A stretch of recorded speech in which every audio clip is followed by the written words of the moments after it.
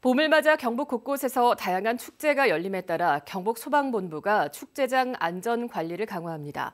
경북 소방본부는 경찰의 협조를 받아 축제장의 통행 방향을 분산하고 도로 폭을 고려해서 통행 인원의 밀집도를 조절하기로 했습니다. 이동 119 안전센터를 운영하고 행사장 내 안전사고 방지를 위한 의용소방대 예방 순찰도 강화하기로 했습니다.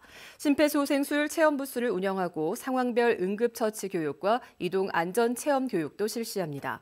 경북소방본부는 이 밖에도 산불 관련 법령 안내 등 산불 예방 홍보도 강화하기로 했습니다.